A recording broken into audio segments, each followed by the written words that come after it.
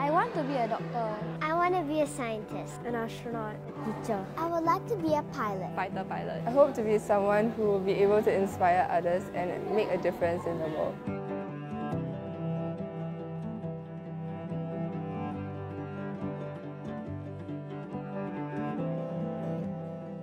Growing up, I was actually afraid of flying, to be honest. I never thought that I would be in a technical field or anything related to the STEM field. It was just something that women in my family in my country, um, even in my neighborhood in the United States, it was just a, a, field that we didn't find ourselves in or attracted to or really understood. And it wasn't until at the age of 18 where I got on board a Delta Airlines flight. The plane took off very gently, smoothly into the sky.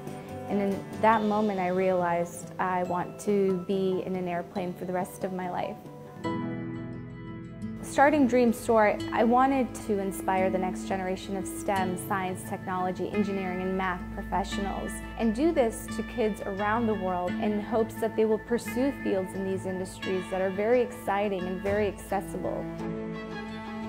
So I'm flying a Beechcraft Bonanza solo around the world. Singapore is my 14th country that I'm visiting. You know, one of the biggest challenges was flying across the Atlantic Ocean by myself at about 7,000 feet.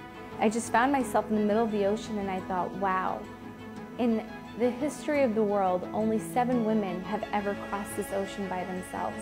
And I never thought a refugee from Afghanistan who disliked school, who was very shy, who believed that she was just going to get married at a young age and have a big family, and that's all that the world will ever offer her, would be the eighth woman to do this. She has inspired me a lot, and like she has taught me that our fate is in our own hands.